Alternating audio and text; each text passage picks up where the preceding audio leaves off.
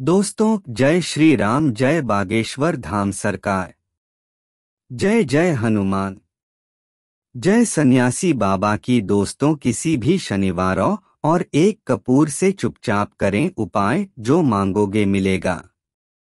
दोस्तों, आज का ये वीडियो आप लोगों के लिए बहुत ही खास वीडियो होने वाला है, क्योंकि आज के वीडियो में आपको पुगेश्वर धाम सरकार के द्वारा बताए गए लौंग और कपूर के बहुत ही चमत्कारिक और काफ़ी आसान उपाय के बारे में आपको बताने जा रहा हूँ, जिन्हें आप काफ़ी आसानी से अपने घर में कर सकते हैं और उपाय आपके।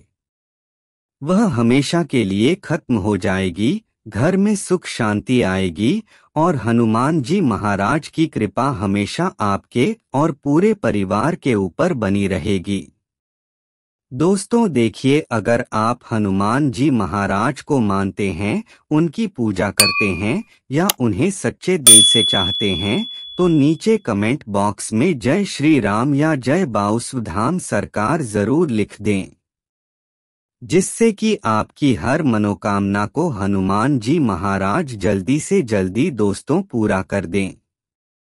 दोस्तों आई हम आपको बताएँगे पूज्य गुरुजी के अनुसार लौंग के और कपूर के खास उपाय के बारे में, जिसे करने से आपको संकटों से मुक्ति मिलगी, सुख सौभाग्य में बढ़ोतरी होगी। अगर आपके जीवन में राहु केतु की चाल का बुरा असर पद रहा है तो ऐसे में आपको प्रभाव को कम करने के लिए शनिवार को डोट लौंग का डैन ज़रूर करना चाहिए, इससे आपको प्रभावों से बचा जा सकता है दोस्तों, आर्थिक संबने के लिए आप किसी भी शनिवार के दिन हनुमान जी की मूर्ति या तस्वीर के सामने एक सरसों के तेल का दीपक जलाएँ।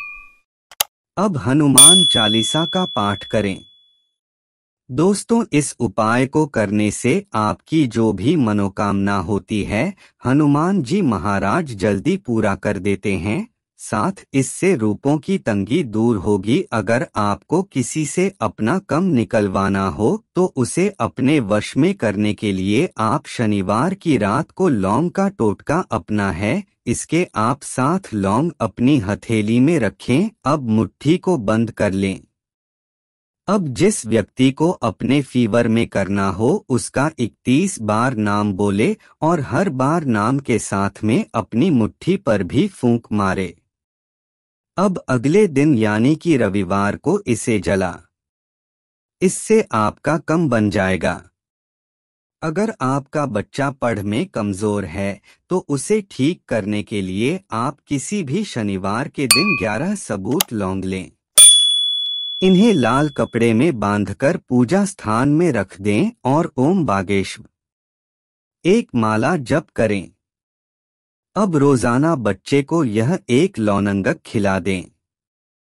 ऐसा लगातार। ग्यारह दिनों तक करने से बच्चे की मेमोरी तेज हो जाएगी और बच्चा पढ़ में होशियार होगा। अगर आपके अट जाते हैं तो आपको प्रत्येक शनिवार के दिन तेल में तीन चार लौंग डालकर उसका दीपक जलाना चाहिए। यह घर के सबसे अंधेरे के कोने में जला है।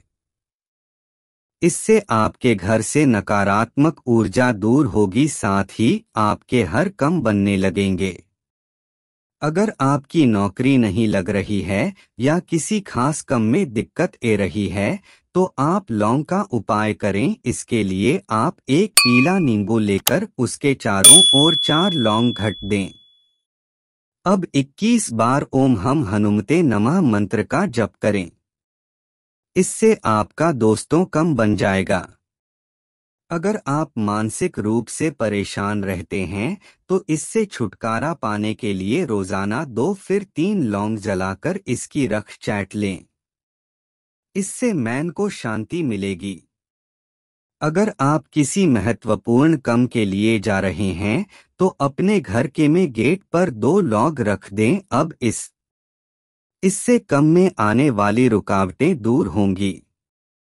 अगर आप अपने दुश्मन को मात देना चाहते हैं तो सात लौ लेकर हनुमान जी के मंत्र से उसे सिद्ध कर लें। अब आप उसे व्यक्ति के खाने में इन लौंग को मिलाकर खिला दें। इससे व्यक्ति आपके वश में हो जाएगा। धन वृद्धि के लिए लौंग ले।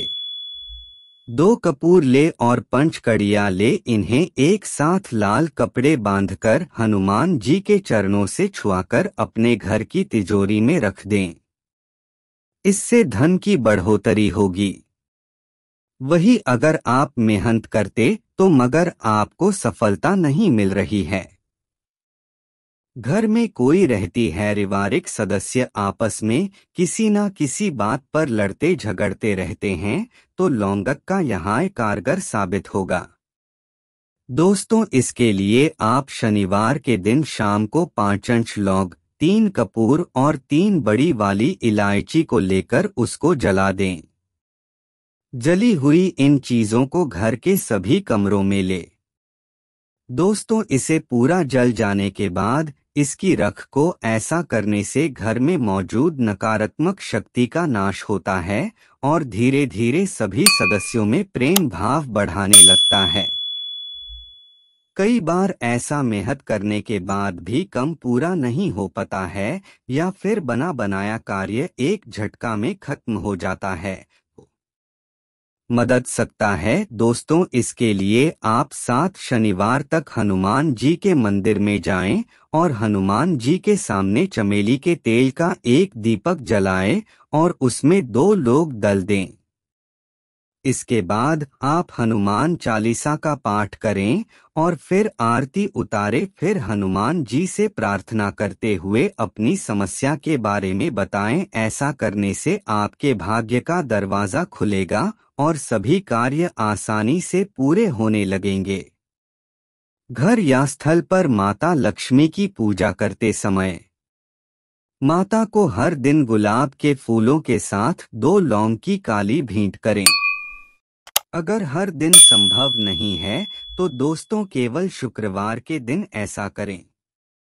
इसके अलावा पंच लौंग और कके लाल कपड़े में बांधकर उन्हें माता लक्ष्मी के चरणों में रख दें। अब पूरे विषय माता लक्ष्मी की पूजा करें।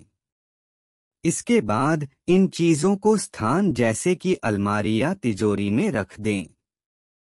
पूज्य गुरुजी के मुताबिक ऐसा करने से घर में बरकत आती है और माता लक्ष्मी का आशीर्वाद बना रहता है।